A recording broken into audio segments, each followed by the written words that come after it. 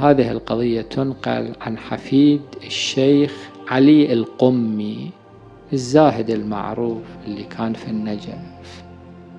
يقول نحن سفرنا من العراق وجئنا إلى قوم كل شيء ما عندنا يقول أنا أول شيء ذهبت إلى الحرم بمجرد ما وصلت إلى قوم.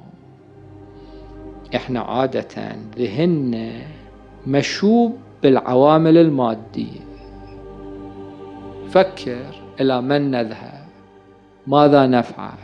من أصدقائنا في هذا البلد؟ ولكن هذا الرجل أول ما فكر قبل كل شيء أن يذهب إلى كريمة أهل البيت. وقبل الزيارة.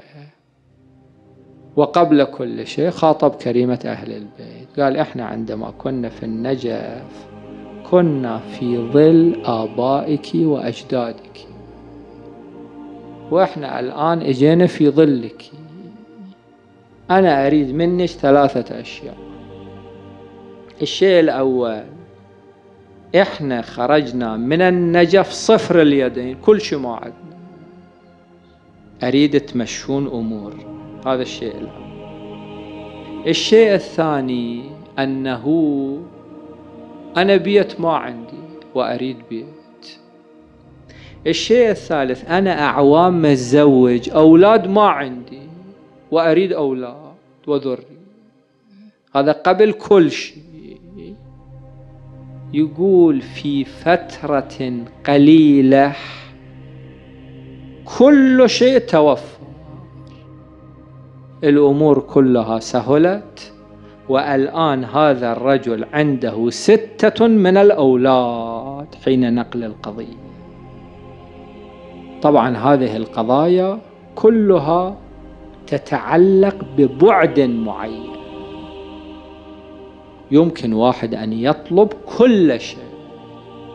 ولذلك يقول أنا كل عمل مستحب أفعله من ذلك الوقت. إلى هذا اليوم أهدي ثوابه إلى كريمة أهل البيت أو أجعلها شريكة في الثواب.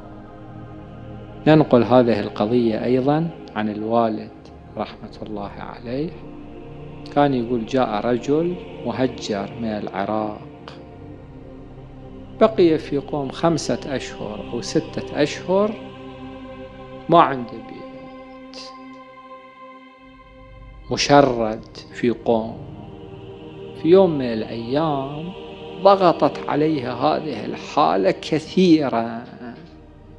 بعد خمسة أو ستة أشهر من التشرد جاء إلى حرم كريمة أهل البيت وهو مغضب بدون مقدمات وبدون زيارة وبدون سلام. هذه لحظة الانقطاع. خاطب كريمة أهل البيت وقال لها هذه هي الضيافة هالشكل تضيفون ضيوفكم. يقول طلع من الحرم قبل أن يصل إلى منتصف الصاحن شاف فد واحد قال له يا فلان شنو صارت قضية البيت؟ قال لم أصل إلى نتيجة. قال أكو فد بيت هنا تعال شوف يعجبك لو لا. فأخذه ووجد بيتا مناسبا وفي نفس ذلك اليوم اشترى ذلك البيت. انقطاع لحظة واحدة. كريمة أهل البيت صلوات الله عليها الله سبحانه وتعالى أعطاها كثيرا من مقاليد الكون.